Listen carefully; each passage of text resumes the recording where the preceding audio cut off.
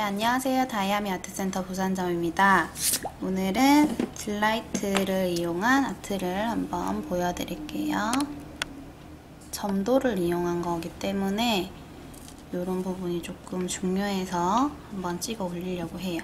자, 일단 베이스는 생략을 하고요. 어, 말린 장미 11번을 가지고 어, 저희 지금 이제 가을이 다 돼가니까 가을에 좀 포인트로 할 수 있는 그런 펄 컬러를 소개를 해드릴게요. 자, 말린 장미 컬러를 가지고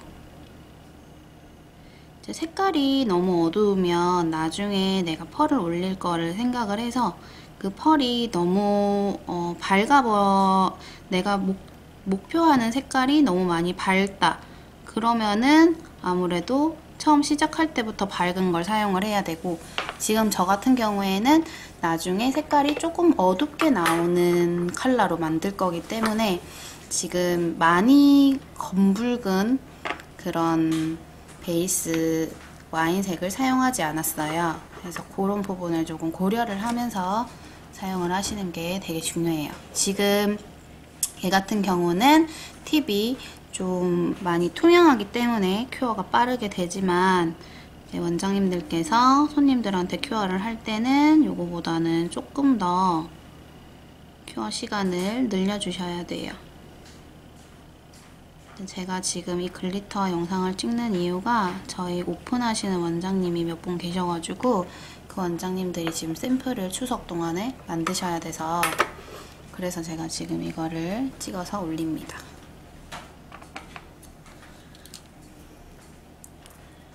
그러면 큐어가 되는 동안 네. 자, 그러면 저희가 여기 올럽에 있는 이 파우더를 여기다가 찍을 건데요. 얘가 약간 검정빛이 나는 파우더잖아요. 그러다 보니까 여기 있는 색깔하고 얘를 이렇게 올리게 되면은 훨씬 더 어두워지겠죠. 그래서 그거를 감안을 해서 생각을 해가지고 얘를 여기다가 사용을 하셔야 돼요. 근데 여기다가 얘를 바로 붙여도 사용을 하실 수가 있지만 그거보다 조금 더 촘촘하게 붙으면서 많이 부담스럽지 않게 펄을 좀 표현을 하고 싶다고 하시면 여기에다가 이제 필수굿을 중간에 layered를 해서 발라주시는데 이제 원장님들께서 가지고 있는 젤이 점도에 미경화가 얼마나 남는지 그리고 미경화를 닦고 나서 얘의 쫀쫀함이 얼마나 있는지를 생각을 하시고 사용을 하셔야 되거든요. 지금 여기다가 이 펄을 붙일 건데 얘는 미경화를 닦아도 되게 쫀쫀해가지고 그 우리 mirror 파우더 같은 효과를 낼 수가 있잖아요. 그럼 되게 얇게 잘 갖다 붙는단 말이에요. 그래서 그 부분을 이용을 할 거예요. 근데 얘를 그냥 바르고 미경화가 이렇게 있는 상태에서 이 아이를 붙이게 되면은 파우더가 이 미경화가 워낙 너무 많이 남는 아이다 보니까 얘 말고도 뭐 다른 타사들도 되게 많겠죠. 근데 얘 같은 경우는 미경화가 너무 많이 남기 때문에 산소랑 결합력이 너무 많아서 그런 아이는 얘가 파우더가 약간 덩어리 같이 붙을 수가 있단 말이에요.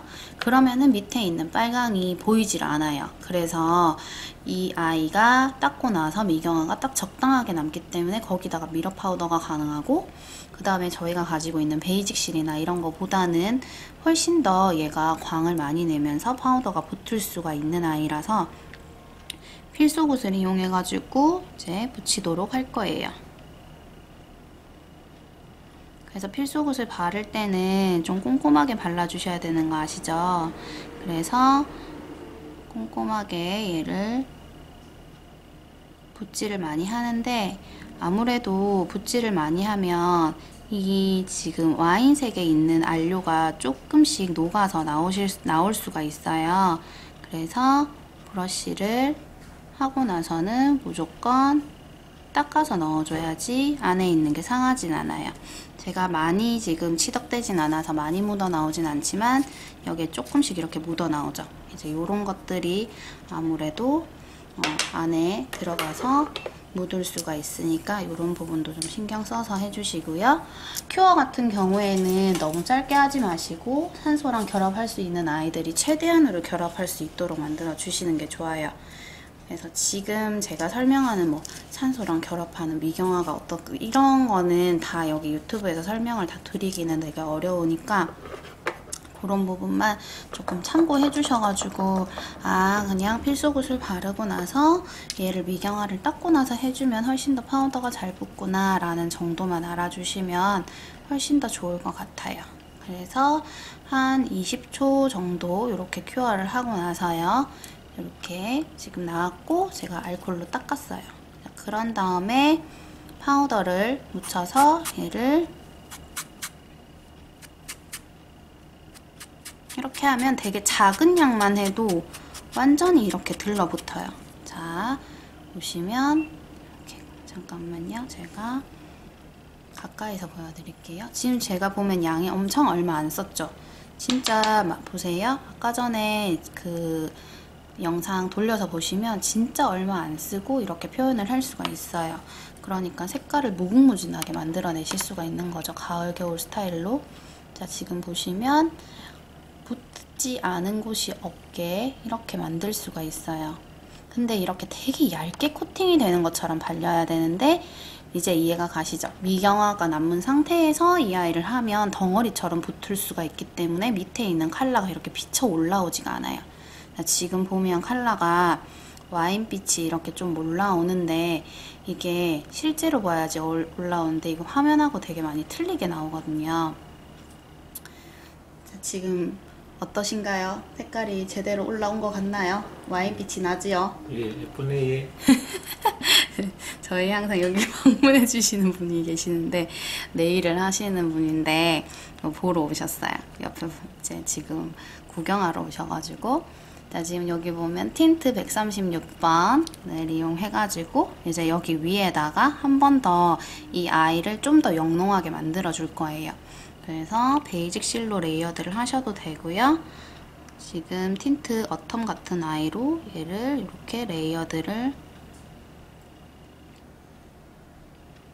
되게 얇게 해주게 되면은 이 펄이 안에 되게 막 둥둥 떠다니는 것 같은 그런 느낌을 내요. 지금 제가 이렇게 칼라를 바르고 나서 얘를 이렇게 닦아 넣죠, 병에다가. 그렇게 해도 될 만큼 얘가 일어나는 게 전혀 없이 그냥 다 달라붙어서 브러쉬에 묻어나는 게 전혀 없어요. 그래서 싼 싸구려 파우더 같은 거 쓰면은 브러쉬에 다 묻어 나오는데 얘는 그런 게 전혀 없거든요. 자, 얘를 조금 확대해서 보여드리면 자, 이렇게 안에 오로라가 이렇게 숨어 있는 듯한 이런 느낌을 연출해낼 수 있어요.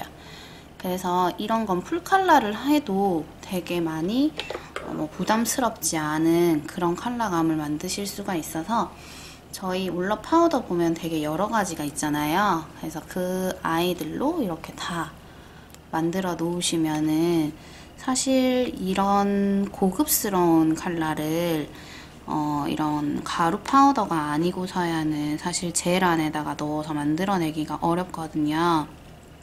그래서 조금 그렇게 음, 현명하신 분들 같은 경우에는 젤에 있는 그런 glitter를 사시는 게 아니라 이런 가루 glitter를 되게 이용을 좀 많이 하세요. 그러면은 다방면으로 많이 하실 수가 있으시니까 네, 그래서 아 그렇다고 젤을 사신 분들이 현명하지 않다는 얘기는 아니에요. 자 여기서 이렇게 해가지고 보시게 되면은 지금 이게 컬러감이 이 카메라 안에 다 담기지는 못하지만 이런 식으로 여러 가지 색깔을 만들어 놓으시면은 엄청 이쁜 가을 컬러를 만들어낼 수가 있어요. 엄청 매력적인 색깔이에요. 그래서 지금 어텀을 가지고 계신 고객님들이나 아니면 저희한테 구입해 주시는 그냥 원, 원장님들 모두 검정색을 깔고 이런 파우더를 한 다음에 어텀을 뭐 한 빨간빛이 나는 아이를 발랐다든지 이러면 색깔이 다 다르게 나오니까 그거를 손님한테 적용을 해보시면 되게 좋을 것 같습니다. 네. 요거 잘 따라 해보시고요. 저희 김나땡님. 자, 여기 보시고 저희 좋아요 눌러주시고요. 그 다음에 뭐 판매하시는, 판매하고, 구입하고 싶은 거, 이런 거 다 판매하고 있으니까 연락 주시면은 어, 저희가 친절하게 알려드릴게요. 감사합니다.